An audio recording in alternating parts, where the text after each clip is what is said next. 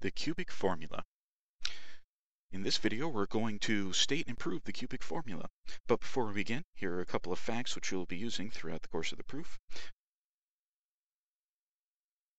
First, I'm going to do a lot of quick algebra, and I'm going to be using the facts that quantity m plus n squared is m squared plus 2mn plus n squared. I'm going to use that without warning. Also, quantity m plus n cubed is equal to m cubed plus 3m squared n plus 3mn squared plus n cubed. Also, we're going to make a definition. Let w be the number 1 half plus rad 3 over 2i. This is an imaginary number, sometimes called a cube root of unity. And here's why. It has a few special properties we're going to use. For instance, w squared is its own complex conjugate, 1 half minus rad 3 over 2i. Also, w cubed is equal to 1. That's why it's called a cube root of unity. And from this equation, if we divide both sides by w, get w squared is 1 over w. Its multiplicative inverse is its square. And dividing both sides of this by w squared, get w is equal to 1 over w squared. We'll use that later on. Now, let's begin. We're going to start with the equation x cubed plus ax squared plus bx plus c equals 0. Now if the cubic equation you have does not have 1 as a leading coefficient, just divide both sides of the equation by that leading coefficient and you'll end up with a 1. Now we're going to make the first of many substitutions. Let x equal y minus a over 3. Then we're going to plug that in and see some amazing simplification.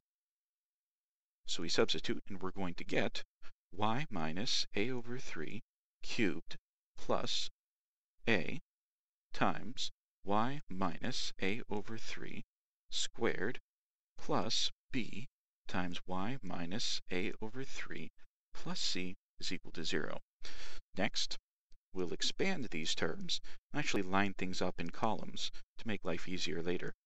This first term is y cubed plus 3y squared minus a over 3 plus 3 times y times negative a over 3 squared plus negative a over 3 cubed. Expanding the binomial, going to get an a in front of each term, y squared plus a times 2y times negative a over 3 plus a times negative a over 3 squared.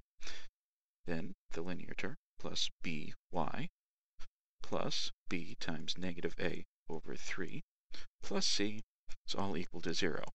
Now we'll simplify each of these terms. We get y cubed, then get this 3 canceling with that 3, minus a y squared. Next is plus a squared over 3y, and negative a cubed over 27. That's the first line simplified. The second line is plus a y squared. Notice some cancellation is going to happen. Next term is minus 2a squared over 3y. It's going to combine nicely with the term above it. Plus a cubed over 9. Next we have a plus by minus ab over 3 and a plus c equal to 0. Now we're going to need a little bit more space. When we gather like terms, we're going to get the following. We get a y cubed from up here. These two quadratic terms cancel, which is actually the point of the substitution. See, these terms combine to give you a b minus a squared over 3 y for a linear term. Then, see these fractions combined. This fraction I can rewrite is 3a cubed over 27. So I'll get 2a cubed over 27, combining these fractions right here, minus ab over 3 plus c equals 0. Now, to make our life simpler again, I'm going to make a few more substitutions. Let p equal this quantity here, and I'm going to let q equal this quantity here. So now our cubic equation, sometimes called the depressed cubic because we've removed one of the terms, has a form y cubed plus py plus q equals 0. And this equation is what we'd like to solve. So, moving on to the next page, again, we have y cubed plus py plus q equals 0 as our starting point. We have formulas for p and q. What we're going to do is another substitution. Let's say let e y equal z minus p over 3z. Now, I'm going to substitute that in. Then what we'll get is z minus p over 3z cubed plus p times z minus p over 3z plus q equals 0. Expanding this out, we're going to get z cubed plus 3z squared times minus p over 3z plus 3z times minus p over 3z quantity squared plus minus p over 3z quantity cubed plus pz minus p squared over 3z plus q equals 0.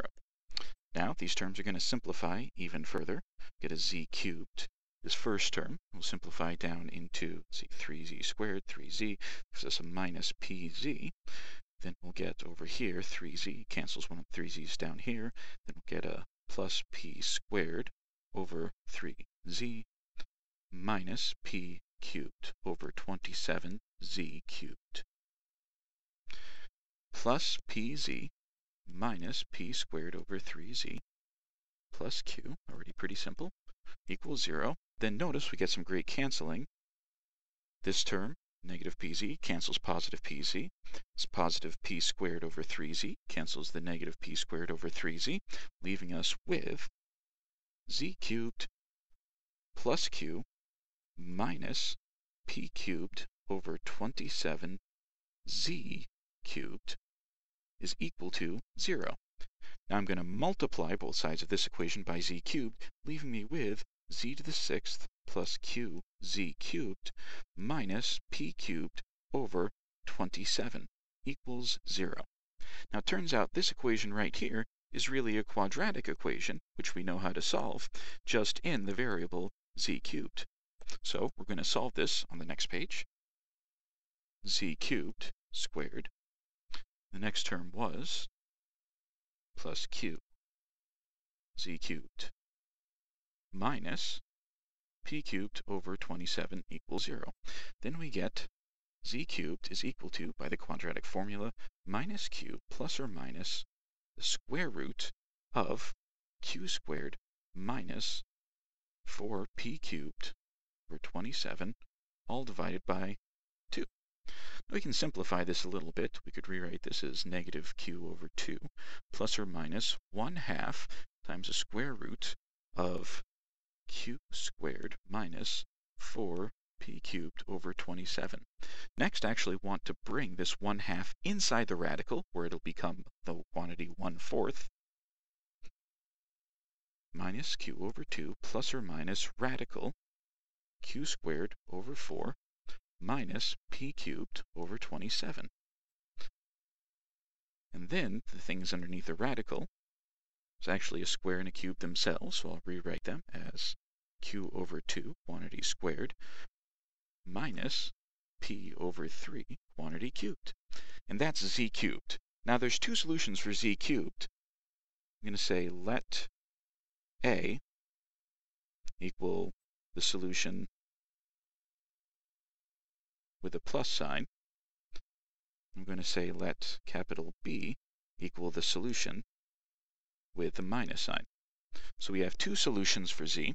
Now the other thing I should show you is we have z cubed equals a and z cubed equals b. Well, we actually have six solutions for z. From this first equation, we get z equals the cube root of a is one solution. However, we also have the cube root of a times w. You can check this is another solution because when you cube this, you get a times w cubed from the beginning of the video is 1.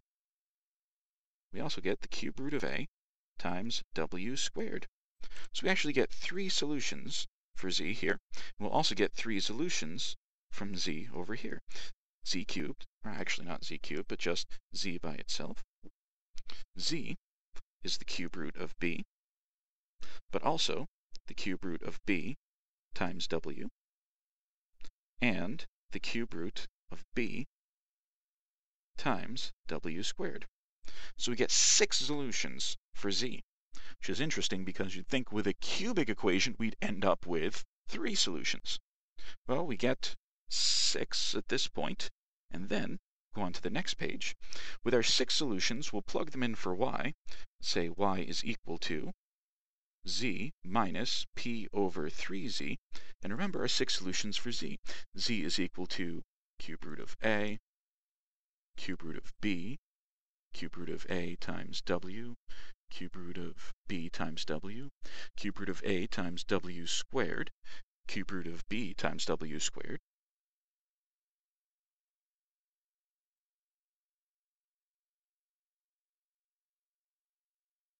Now if we plug these in, turns out, because of this funny expression, we actually only get three solutions. Some of the solutions are repeated. For instance, if you plug in cube root of a minus p over 3 cube root of a. One fact, which is kind of interesting and extremely useful, cube root of a times cube root of b, if you multiply these out, you're going to get negative p over 3. It's more easy to see this if you actually multiply out the original a and b, and you notice you'll get negative p over 27, then you take the p cubed over 27, then you take the cube root of both sides, and you get this expression. But since this is true, you have that the cube root of b is equal to negative p over 3 times the cube root of a. And this fact allows us to simplify the expression over here into cube root of a plus cube root of b. And this is one of our solutions. If we plug in another solution for z, for instance cube root of a times w minus p over 3 cube root of a times w, well again this simplifies a whole lot. Cube root of a times w. This part, p over 3 cube root of a. That we know is equal to the cube root of b. So, plus the cube root of b then we have 1 over w, and from our notes in the very beginning, that's w squared. That's our second solution. And finally, cube root of a times w squared minus p over 3 cube root of a w squared. Again, this first part simplifies. We get a cube root of a times w squared plus cube root of b times, well, 1 over w squared from our introductory notes, that's just w, and that's our third solution. Well, you might ask, what happens if we plug in cube root of b, cube root of b times w, cube root of b times w squared in for z in this equation? Well, it turns out we just get these three same solutions again. So these are the solutions to the cubic equation in y, and then by unsubstituting one more time, you could transform these into the solutions for x. And that's it, the solution to the cubic equation.